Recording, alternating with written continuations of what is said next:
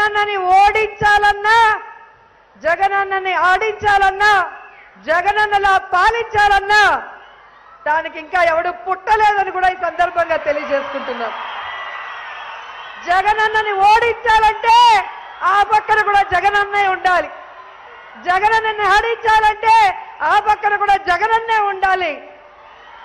మీలా time pass రాజకీయాలు చేసేవాళ్ళు షూటింగ్ గ్యాపుల్లో వచ్చి ప్యాకేజీలకు మాట్లాడేవాళ్ళు మీరే ఎమ్మెల్యేగా గెలవలేరు. మీరు జగనన్నను ఏం ఓడిస్తారు ఏం ఆడిస్తారని కూడా ఈ సందర్భంగా తెలియజేసుకుంటున్నా. ఈరోజు చంద్రబాబు నాయుడు కానీ పవన్ కళ్యాణ్ కానీ లోకేష్ గారు కానీ ఊరు ఊర్రన తిరిగి విమర్శిస్తుంటే ఈ మధ్యనే రిలీజ్ అయింది రజనీకాంత్ సినిమా ఒకటి. ఆ సినిమాలో డైలాగ్ నాకు గుర్తొస్తుంది. మరగని కుక్క లేదు విమర్శించని నోరు లేదు. ఇవి రెండు లేని ఊరే లేదు. తమిళ్ళో చెప్పేదా మన వాళ్ళు ఉన్నారు? కొలక్కాద వాయుమిల్ల కొర సొల్లాద ఇది రెండు ரெண்டும் இல்லாத ఊరు ఇల్లే. புரியுதா రాజా? అర్థమైందా రాజా? సో ఈరోజు పవన్ కళ్యాణ్ ఎంత విమర్శించినా లోకేష్ ఎంత మొరిగినా చంద్రబాబు నాయుడు ఊరూరు తిరిగి ఎన్ని అబద్ధాలు చెప్పినా ఈ రాష్ట్ర ప్రజలు మంచి చేసిన జగనన్నని మర్చిపోరు. Twenty twenty four Jagananna once more అని ప్రజలు జగనన్నకి పట్టం కట్టి నూట డెబ్బై ఐదు సీట్లు ఇవ్వటానికి రెడీగా ఉన్నారని కూడా ఈ సందర్భంగా తెలియజేసుకుంటున్నాను. ఎందుకంటే నేను ధైర్యంగా ఈ రాయలసీమ గడ్డ మీద నుంచి చంద్రబాబు నాయుడికి సవాల్ చేస్తున్నాను. నిన్ను ముఖ్యమంత్రిని చేసిన కుప్పానికి పోదాం. ఆ కుప్పంలో ప్రతి ఇంటికి సంక్షేమాన్ని చేసింది నువ్వా? జగనన్న అని అడిగితే జగనన్ననే చెబుతారు. ఎందుకంటే మీరే చూశారు లోకల్ బాడీ ఎలక్షన్స్లో మున్సిపాలిటీలో ఏ విధంగా వార్ వన్ సైడ్ అయిందో. నానా కొడుకులు గల్లీ గల్లీ తిరిగినా తరిమి తరిమి కొట్టారు హైదరాబాద్ వరకు. నెక్స్ట్ ఎలక్షన్లో నూట డెబ్బై ఐదుకి నూట డెబ్బై ఐదు అని అందుకే గంటా పదంగా చెప్పగలిగాను. ఈ రోజు కుప్పం ప్రజలకు కావాల్సిన మున్సిపాలిటీ కానీ రెవెన్యూ డివిజన్ కానీ సంక్షేమం కానీ అభివృద్ధి కానీ అన్ని అందించింది మా అన్న జగన్ అన్నే అని కూడా ఈ సందర్భంగా తెలియజేసుకుంటున్నాను. మా అన్నం చూసారా? తెల్ల షర్ట్ వేసుకొని చిరునవ్వులు చింతిస్తూ అందరినీ ఆప్యాయంగా పలకరిస్తారు. పెద్దవాళ్ళనైతే అన్న అంటారు ఆడపడుచులనైతే చెల్లమ్మ అంటారు. ఇది చూసి కూడా పవన్ కళ్యాణ్ ఏడుస్తున్నాడు. ఆయన తెల్ల షర్ట్ వేసుకుంటాడు అన్న అని పిలుస్తాడు చిరునవ్వులతో మాయ చేస్తాడు నమ్మకండి అంటాడు. నాకు అర్థమైంది ఏంటంటే నాకన్నా చిన్నోడు కానీ నాకన్నా అందంగా ఉంటాడు. నాకన్నా ముందే రాజకీయాల్లో సక్సెస్ఫుల్గా ముఖ్యమంత్రిగా తిరుగులేని నాయకుడిగా ముందుకు వెళ్తున్నాడు. అలాగే సక్సెస్ఫుల్ ఫ్యామిలీ పర్సన్గా ఉన్నాడు. సక్సెస్ఫుల్ పొలిటీషియన్గా ఉన్నాడు. ప్రజలందరి గుండెల్లో స్థానం సంపాదించుకున్నాడు అని ఆయన జలసీతో ఫీల్ అవుతున్నాడు. ఆరు నెలలకు వాళ్ళు వీళ్ళు అవుతారంటారు కదా.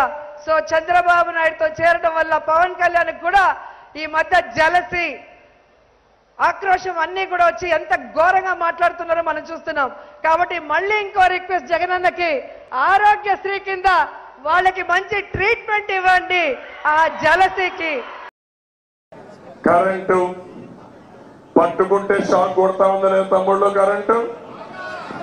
కొడతా ఉందా లేదా? తెలుగుదేశం పార్టీ కరెంటు ఛార్జీలు పెంచావా? పెరిగాయా? కరెంటు కొరత అధిగమించావా లేదా? ఇరవై నాలుగు గంటల కరెంట్ ఇచ్చావా లేదా? ఇప్పుడు కరెంట్ వస్తుందా?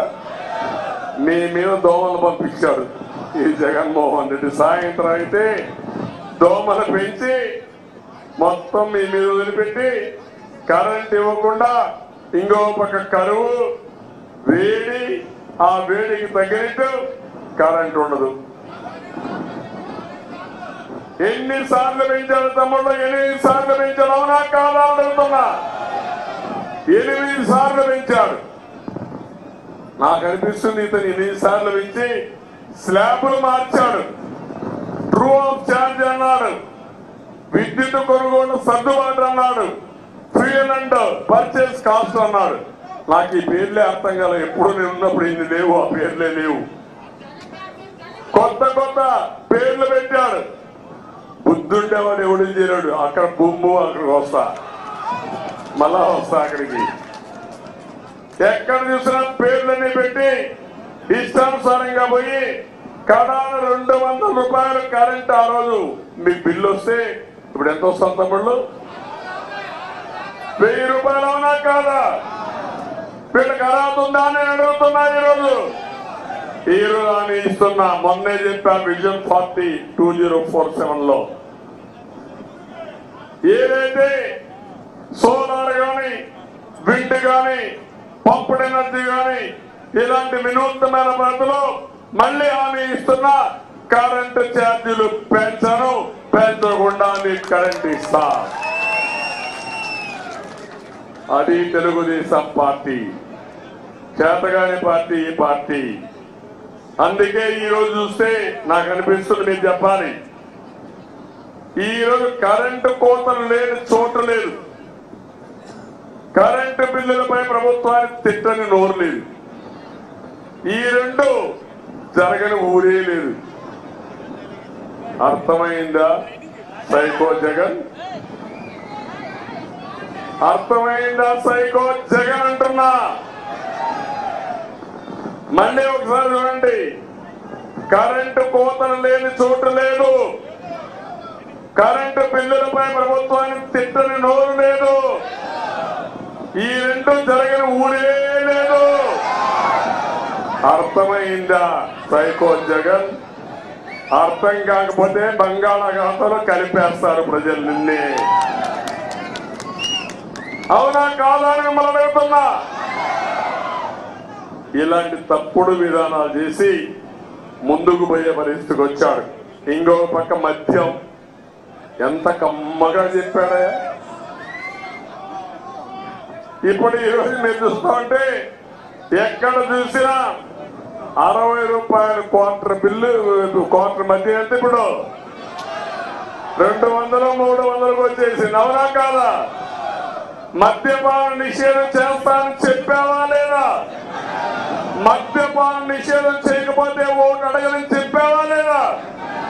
ఇప్పుడు నువ్వు మద్యపానం నిషేధం చేస్తున్నావా మద్యపానాన్ని తేకట్టు పెట్టి పదహైదు వేల కోట్ల రూపాయలు అప్పు తెచ్చావా లేదని అడుగుతున్నా. నీకు అర్హత ఉందా అని అడుగుతున్నా.